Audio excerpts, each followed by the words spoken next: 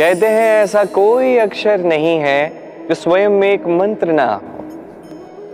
ऐसी कोई वनस्पति नहीं जो स्वयं में एक औषधि ना हो।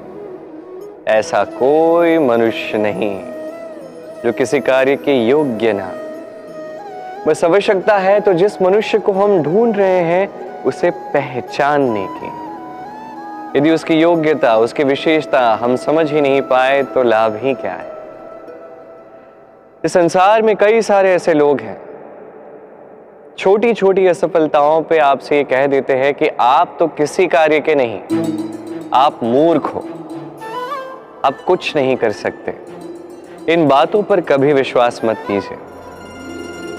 क्योंकि आप और हर एक जीव इस परमात्मा और इस प्रकृति की रचना है जो अत्यंत विशेष है।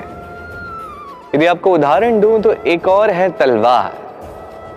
एक बड़ी लंबी तलवार, जिससे युद्ध लड़े जा सकते हैं, जीते भी जा सकते हैं।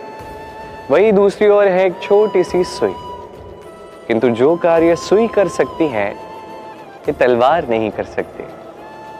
इसका अर्थ यही है कि हर एक रचना अत्यंत अद्भुत और अत्यंत विशेष है।